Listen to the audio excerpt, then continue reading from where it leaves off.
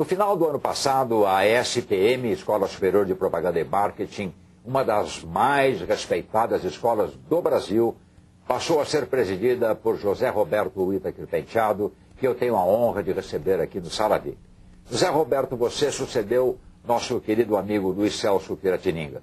Como foi o convite e como você se sentiu com essa missão? Olha, uh, Flávio, Faveco. Faveco. é, eu tenho, assim, o privilégio de ter conhecido pessoalmente todos os presidentes, acho que você também. Eu também. O Rodolfo Lima Martensen, que foi o fundador da escola e presidiu também durante 20 anos. Depois tivemos o Otto Scherbe, uma grande figura, profissional de publicidade, de marketing, inclusive pela formação dele na Alemanha, até é, um filósofo razoável, matemático, uma pessoa de grande cultura, que lançou as bases da as bases acadêmicas da, da SPM. Depois veio Francisco Gracioso, um homem que já havia feito uma bela carreira na publicidade, na Macanéricos. Ele acho que deu um, vamos dizer, um impulso empresarial à escola. E depois, com a saída do Gracioso, que ficou durante 26 anos como presidente, tivemos o Pira, Luiz Celso Piratininga, que veio, de certa forma, encerrar a sua carreira na escola, porque ele já havia sido um publicitário de grande sucesso, professor emérito da USP, doutor, e foi chamado ah, na substituição do Gracioso.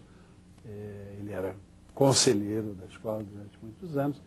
E, felizmente, a sua saúde já estava um pouco abalada, e, eh, mas, de certa forma, inesperadamente, o Pira foi o presidente durante dois anos, quase três anos, e aí o seu falecimento, ano passado, inesperado, fez com que eu fosse chamado, uma vez que eu era o diretor corporativo estatutariamente era esse diretor que assumiria interinamente, e aí o conselho resolveu me confirmar no cargo. É evidente que com 30 anos de casa não foi exatamente uma surpresa, né? Mas eu fico muito feliz de também chegar a um ponto da minha carreira onde eu tenho a oportunidade de continuar o trabalho desses profissionais e homens extraordinários que foram os presidentes da ESPM. Né? Mas, é, Roberto, e teus planos para a tua gestão agora à frente da ESPM? O que, que a gente pode, o que, que estás planejando? Olha, uh, uh, Fabeco, a, a, a SPM, a cada, a cada cinco anos, ela faz uma revisão, ela tem um plano quinquenal. Ele existe, acho que já, já houve dois períodos de cinco anos com esse prêmio, com esse plano. E eu, de certa forma, tenho assim a sorte de ter chegado e encontrado a casa arrumada é, para eu fazer alguma coisa que precisa ser feita, que é o grupo já está trabalhando, temos diretores, uma consultoria externa, trabalhando no plano do que a escola pretende fazer nos próximos cinco anos. Essa, então, é a prioridade da minha gestão, pelo menos no início. E quando vai ser apresentado esse plano? Nós estamos trabalhando no plano, estamos, é, evidentemente, reunindo todas as informações históricas da escola, é, estudando o mercado, tentando levantar um periscópio para descobrir ou adivinhar o que, que o futuro reserva para nós. E até meados do ano nós teremos, então, um plano é, de onde a escola deseja chegar ele vai ser apresentado ao nosso conselho deliberativo, enfim, é, que é quem dirige os destinos da escola, e uma vez aprovado, nós vamos, trabalhar, executá-lo né? executá-lo ano a ano, no sentido de chegar às metas que, que nós estamos estabelecendo para a escola. Nesse horizonte de plano quinquenal, ah, por exemplo, a expansão geográfica, a escola está hoje em São Paulo, Rio e Porto Alegre. Não é? Existe perspectiva de, se expandir Olha, muitas, horizontalmente? Há, há, muitos, há muitas solicitações, alguns convênios, como o de Brasília, que já está funcionando. Agora, nós temos que ter um certo cuidado, porque uma escola não é a mesma coisa que uma indústria ou um banco. Você, vamos dizer, na, uma Nestlé, uma Unilever, ela tem as suas unidades, as suas fábricas, ela faz lá o seu produto, distribui pelo Brasil, e o produto é sempre o mesmo. É, uma prestadora de serviço também pode ser padronizado, como é o caso do banco, de um McDonald's, de uma franquia. Uma escola já é, eu diria, a escola, apesar de ser uma, de pretender ser uma, uma empresa, uma estrutura moderna, ela tem um lado artesanal. Né? A escola é tão mas tem boa... um corpo de conhecimento codificado já. Né? Uh, sim, mas uh, eu ainda, ainda considero que uma escola que se posiciona como a nossa, ela é tão boa quanto são os seus professores, em primeiro lugar. Né? Ah, vocês também, a SPM também tem cursos de pós-graduação. Né?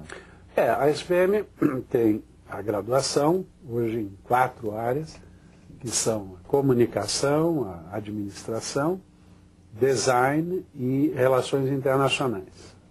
Estamos para lançar jornalismo, eh, talvez no final desse ano, mas certamente o ano que vem. E ah, ah, existem dois tipos de pós-graduação. Antigamente se chamava lato senso e estrito é, senso. É. essa terminologia caiu um pouco. Essas são os MBAs, que são cursos para pessoas que já se graduaram em alguma área para se especializar, e os chamados pós-graduação estrito senso, que é o mestrado, doutorado, então são cursos especificamente para especialização, formação de professores e pesquisadores. Então, nesses cursos que a SPM procura, ou imagina poder achar, os recursos humanos para a sua continuidade e expansão? Uma parte, uma é. parte hoje, uma parte dos nossos professores são formados dentro da escola. A escola vai completar é, 60 anos no ano que vem, 2011.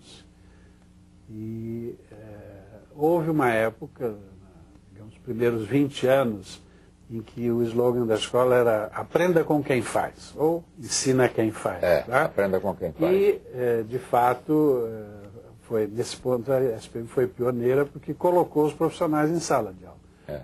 Quando ela começou a funcionar, não havia curso de propaganda e muito menos professores. É. Havia pessoas da escola, inclusive nos primeiros anos eles nem ganhavam para isso, não, faziam é. por amor à profissão. Era voluntariado. Era o voluntariado.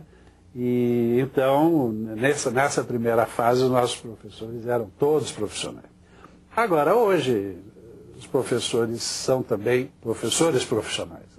Essa é a profissão de professor e alguns tiveram experiência na, nas suas áreas, tornaram-se professores, outros especializados. Hoje, professor é uma profissão full-time e a maioria dos nossos professores são professores de carreira e a escola está, inclusive, aumentando sensivelmente o número de professores que dão dedicação integral à escola. Voltaremos em seguida, logo depois desse rápido intervalo, conversando com José Roberto Whittaker Penteado, novo presidente da Escola Superior de Propaganda e Marketing. Fique conosco, voltamos já já.